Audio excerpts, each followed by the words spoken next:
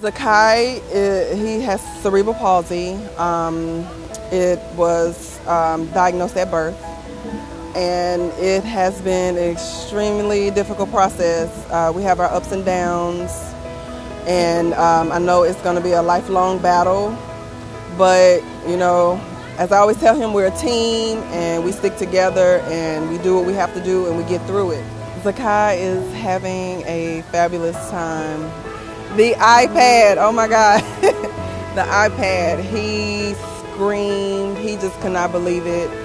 I thought it was a joke when they announced it. I seriously thought it was a joke. And then when I saw the kids coming back with iPads, I was like, this is real. I just cannot believe this experience. I, I just cannot believe this organization is that thoughtful and friendly and accommodating and just caring. It's amazing. it's amazing.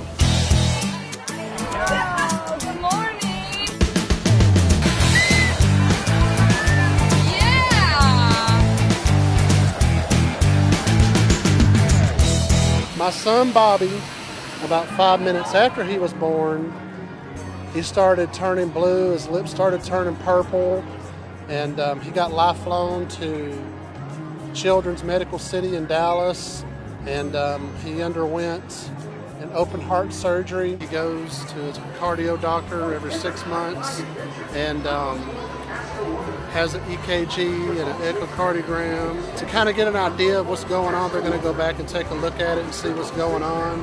And um, he's been enjoying himself, and um, he's just been awesome. And um, um, we just thank the Kidd Kraddick Foundation for what they've done for us and the memories that they've made for Bobby and my daughter. It's just um, speechless as to how my family feels, and we're grateful.